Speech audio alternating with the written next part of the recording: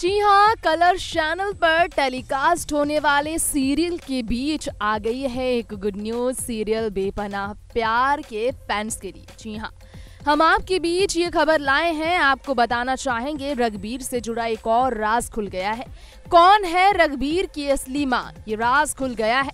कौन है रघबीर असल में क्या मल्होत्रा परिवार का ही वो हिस्सा है?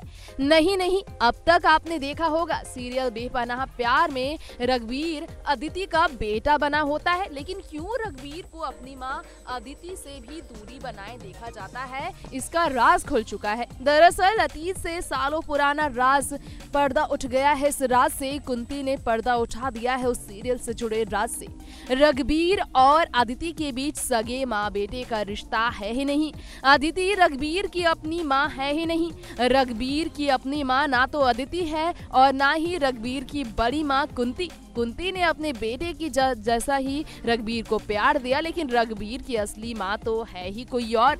रघबीर को भी इस बात का अंदाज़ा नहीं कि पाँच साल का जो रघबीर घर से दूर हो गया था, जिसे हॉस्टल भेजने वाली अदिति सौतेला व्यवहार उसके साथ करती थी, वो वाकई में सौतेले रिश्ते को ही निभा रही थी। अदिति रघबीर की सौतेली माँ है और इसलिए उसने सौतेला रवैया हमेशा मेंटेन कर रखा। शो के टेलीकास्ट हुए एपिसोड में ये राज खुल चुका है तो वहीं रघबीर की माँ आखिर है कौन? ये राज भी बहुत जल्द खुलेगा इस शो में, जिसके साथ शो में एक नई ही टर्निंग ट्विस्ट के साथ कहानी मोड़ लेगी। देखना दिलचस्प होगा रघबीर और अरिति के बीच का माँ बेटे वाला रिश्ता अब कहाँ किस मोड़ पर जाकर रुकता है। नेक्स्ट नाइन लाइव से तृप्ति की रिपोर्ट।